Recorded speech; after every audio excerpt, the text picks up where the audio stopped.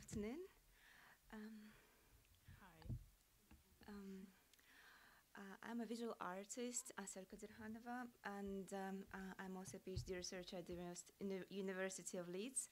And today, um, with Inga Lāce, uh, curator, we will uh, speak about um, diaspora.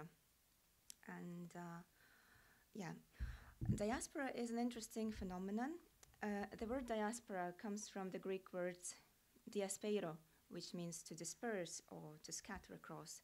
And basically, it means a community of people who were who has dispersed or um, were displaced from their place of origin, of most often uh, because of traumatic event. And um, to be considered a diaspora, uh, there shouldn't be just a just a mere physical dispersion.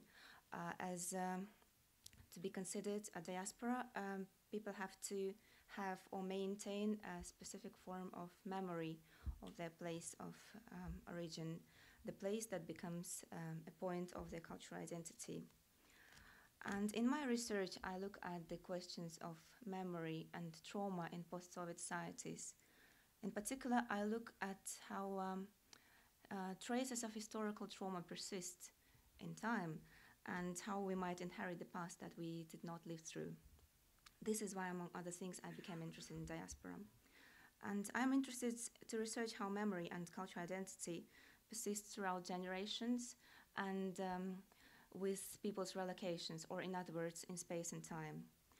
And it's important to remember that it's not just people who move around. Um, dispersions also means dispersions of uh, cultural values, languages, um, um, personal memories, and personal traumas. And uh, this is my work called A Brick to the World that I made a couple of years ago for an artist residency in Kazakhstan. And this installation, I work with three alphabets of, of the Kazakh language, and I use the alphabets to address the issue of cultural identity. In the 20th century, under the Soviet rule, um, Kazakh alphabet was changed twice. First, the traditional Arabic alphabet was replaced by uh, the Latin alphabet, and then in the late 30s, it was replaced by Cyrillic. And at the moment, we use Cyrillic letters. And what is interesting, uh, it might sound abstract, but what, what's interesting, it was also the, way, the time of the wave of migration from Kazakhstan. People were trying to escape, uh, to escape starvation and political oppression. And later, these people formed a Kazakh diaspora abroad. And uh, what I find fascinating that uh, Kazakh diaspora in uh, different countries use different alphabets. For example, um, people in China, Afghanistan, and Iran use uh, Arabic letters, and people in Turkey, Germany, uh, England, or USA uh, use um, Latin letters. So they cannot kind of communicate with each other in written language, um, although they speak, we speak the same language. And in this work, I use three um, three alphabets, uh, which I put on the cubes that appropriate the design of educational cubes for children. And on each side of the cube, there is a letter, the same letter, but in, in, three, uh, in a different alphabet. By walking past this installation, the viewer changes the angle, and each time they, they read it in a different alphabet, but they never get um, uh, the full view. It's always a fragmented view. Um, so uh, with this fragmented view, you cannot really grasp the entire phrase. And I would like to refer to the fragmentation of collective memory with many gaps and silences. So yeah, in this with this installation, I would like to raise a question: how everyone is a brick to the world, um, and it's it's on on the other hand, it's a solid brick of identity, but um, on the other hand, it is um, kind of a brick that can be moved and make new new towers of meaning. Thank you. You, Uh, yeah, so can we have the other image? Yes. Uh, so um, I will continue to speak about diaspora a little bit through the lens of the project called Portable Landscapes that I did with my colleagues and that is still ongoing actually. And uh, you can see an image here uh, from the project when it was exhibited in Riga at the Latvian National Art Museum. And so, in a way, the idea of the project was um, uh, to work with uh, Latvian artists in exile, mostly the post Second World War ones, and contemporary artists. And uh, so uh, we did this research because, like, uh, really after the Second World War, there was massive waves of Latvian um, uh, people uh, that ended up uh, in many different places in the world. And so, since there was the Soviet Union, there was no place to kind of come back. So this diaspora and exile scene, they really kind of existed parallelly, right?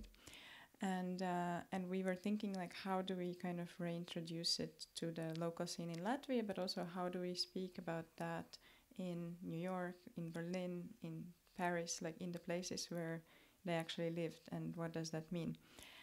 And uh, so the project started, and one thing that I would like to raise with this presentation is sort of the curatorial and institutional responsibility that we have. Uh, especially, we felt that we have it in relation to uh, European uh, refugee crisis. So there was this moment of crisis, and it went on, and we thought, so what can we do as an institution? And for us, it seemed that we need to talk about the exile or, or migration of the past, because in Latvia, the attitudes were very like sort of racist. And, and when the European Union division happened in 2015, that, oh, we need to take like 700 refugees, just like 700 from all these like that are flowing, you know? And, um, and it created like an incredible kind of wave of racism and, and political crisis. So, we were like, how do we speak about that with the Latvian audience? And um, and that's why for us that was this one reason why it was very important to speak about diaspora and say like, well, listen, but you know, like not that far ago, so many people were sort of accepted in many different places, like Latvian people. So we should also think about migration today. That it, later it will create like a shared history, uh, uh, yeah. So and, and that shared present should be maybe more different than uh, you know like surrounded by hostility. So yeah and, and the picture basically shows this one latvian artist who lived in us and uh, her name is Daina Dagnija and it's interesting that in her work she worked uh, she made these three paintings like the ones with refugees and the one with this woman in the 70s while living in america and uh, you could kind of see these two things you know like one is really uh, she reflects on the refu- the Vietnam refugees because she's like a perceptive, you know, like she sees what's happening in the world and and in U.S. at the time. And the other one is uh, her family sort of arriving in U.S. So she already did that in the 70s, this kind of reflective work. And that uh, woman, it's more like about the role of uh, women in America, you know, and in, in relation to consumer culture and all these things. So that's one of those, let's say, historical works. And um, so, if I um, uh, still have time, I would like to just uh, read a quote that was very inspiring for the for the project. And so, basically, um, it's from the catalog that we did. Um, so basically, migration resulting from uh, climate change uh, in, is particularly topical uh, nowadays, and and it, there will be more and more of that. Yeah, if not from wars, then you know from the climate change, because many territories will be completely underwater and uh, or become uninhabitable because of the higher temperatures. So raising numbers of unregistered people may also pose a serious threat to democracy and currently existing structures of political representation. And so the philosopher Thomas Nail offers an interesting way of looking at the situation. Uh, he suggests reviewing both history and the current political situation from the point of view of movement, migration, and the migrant instead of that of a static citizen. So Nail uh, calls his theory kinopolitics, uh, and it's a reference to social kinetics or movement. And so rather than uh, taking the preconceived notion of the citizen, as his point of departure, he uh, proposes beginning with migration flows, looking at the ways in which migrants travel to become citizens and to form countries, and paying attention to how they often present an opposing force and an alternative to existing state structures.